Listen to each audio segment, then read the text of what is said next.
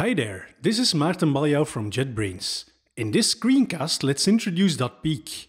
dotPeek is a free tool that is able to decompile any .NET assembly into the equivalent C-sharp or intermediate language source codes. It's available as a standalone tool and inside other tools such as ReSharper, dotTrace and dotMemory. dotPeek inherits a lot of functions from ReSharper, so you will feel at home working with dotPeek. It comes with ReSharper like navigation and search, code insights, and familiar keyboard shortcuts. Let's look at dotPeek in action. On the left-hand side, we can see the Assembly Explorer. It lists the assemblies that are currently loaded in dotPeek. We can open individual assemblies from disk or open a full folder or a zip file containing assemblies. Assemblies can also be loaded from the global assembly cache, NuGet or from a running .NET process. Let's open Entity Framework from NuGet. We can search for the package name and then open it from here. We can expand nodes and see the references for that assembly, as well as embedded resources. A double click will show the contents. The Assembly Explorer list also shows namespaces in the assembly, and expanding those, the types in there. If we double click a type, dotPeek will show the source code of that type. We can see properties, we can see methods, we can see method bodies and so on. Basically anything we would expect to see here. dotPeek will attempt to download the symbols and source code from a symbol server. If no symbols are found or we cancel the download, dotPeek will show us the decompiled source of that type instead. If this behavior is not desired, we can toggle it in the options. But let's keep the defaults here.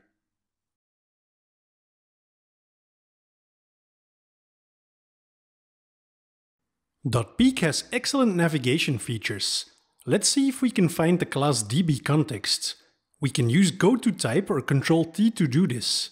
We can search using the full type name, like so, or use camel humps to search. By looking at the camel case type name, dotPeek lets us do partial searches such as DC or DBC and also match DB contexts. We can use the keyboard arrows to scroll down or up the list of results and hit enter to navigate to the type. When inside the source code, there are more navigation options available. Using Navigate to, hidden behind the Alt backtick shortcuts, we can see what else we can do. Navigate to or the Navigate menu are a great way of discovering what options are available within dotPeek. There are several navigation options in here. We can navigate to declaration, implementation, derived symbols, symbol usages and more. Using Navigate to, we can also navigate between decompiled sources or sources from the symbol server. Let's navigate to the base type of our DB contexts. Since we are implementing two interfaces here, dotPeek will show us both of them and we can select from them using the mouse or keyboards. Now back to our DB contexts. I'm interested in seeing if there are any derived types. We can find out using Navigate to again, or use the Alt-N shortcuts to navigate to derived types immediately. There are quite a few types to select from. Let's navigate to the EDM metadata contexts. Typically, Entity Framework does some initialization work when our database model is first loaded.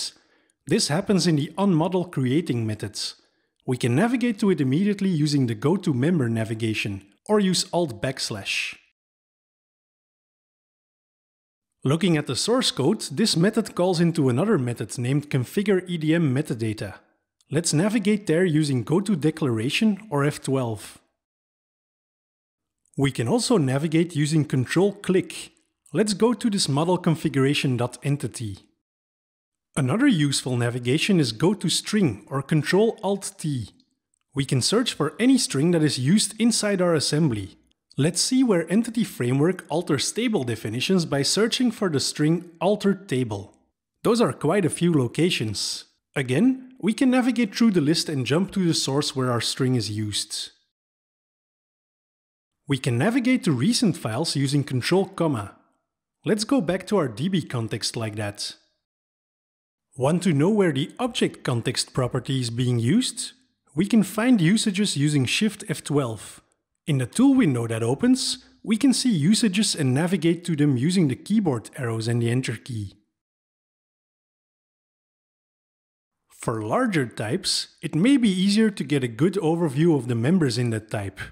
Using the File Structure tool window, we can view all members and their accessibility from a separate tool window.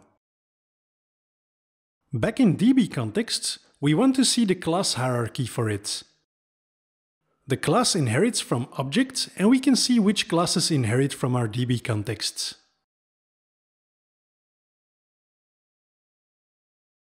We can also generate a diagram for our classes. From the Inspect menu, we can show the type dependencies diagram.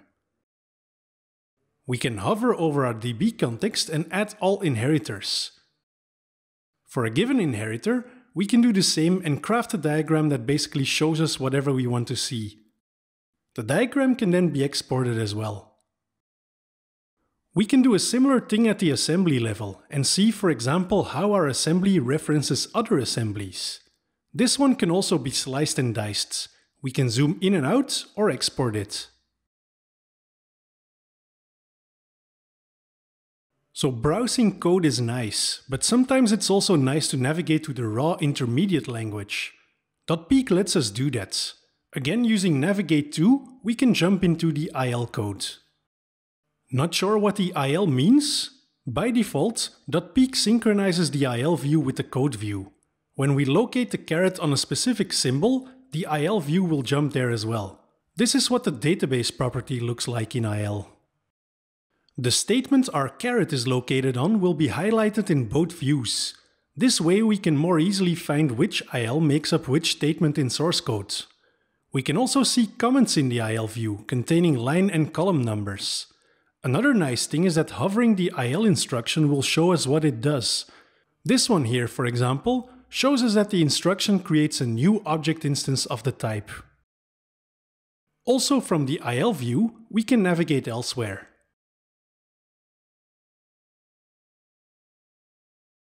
A .NET assembly consists of two big chunks of data. Of course, there is the intermediate language, which we've already explored. The other part is the metadata portion of the assembly file, which contains a series of table and heap data structures. From the Assembly Explorer, we can navigate through the metadata of an assembly and look at these data structures. For example, we can see string literals in the strings and Unicode strings table. We can expand usages here as well. We can browse portable executable file headers, such as the DOS and NT headers, we can see fields, methods, types, and so on.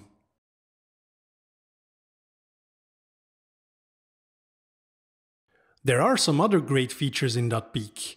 One of my favorites is the built-in symbol server. Under the options, we can configure dotPeek to act as a symbol server and serve decompiled sources to tools like Visual Studio and WinDbg. Let's say we want all sources from our Assembly Explorer available in this symbol server and copy the symbol server URL to the clipboards. From the toolbar, we can start and stop the symbol server. I loaded a crash dump from a production web server in Visual Studio. If we debug it, all we get to see is machine code instructions, which is not really helpful in diagnosing the issue at hand. Even worse, we don't have the symbols or source code for this application at hand. Luckily, we have the application assemblies and dotPeek. Let's drag the entire folder containing the production assemblies into dotPeek so that we can serve up the decompiled sources. If we now configure symbol locations and enter dotPeek's symbol server URL, we can load symbols for our crash dump.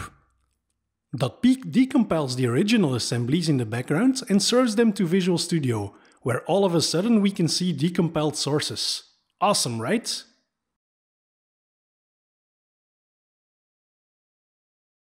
Any assembly that's open in dotPeek can be exported as a project. Using the context menu, we can export the current assembly as a project and even generate a solution file. For larger projects, this may take a couple of minutes. Once completed, we can see the project on disk and open it in Visual Studio. Alternatively, we can also save individual types. Just right-click the Types Editor tab and hit Save As. Just like Visual Studio, dotPeek offers a few color themes to choose from. In the options, we can change the appearance of dotPeek and choose, for example, the blue theme.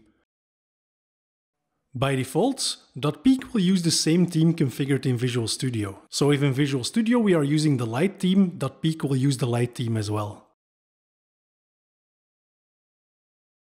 One last thing I want to show are assembly lists.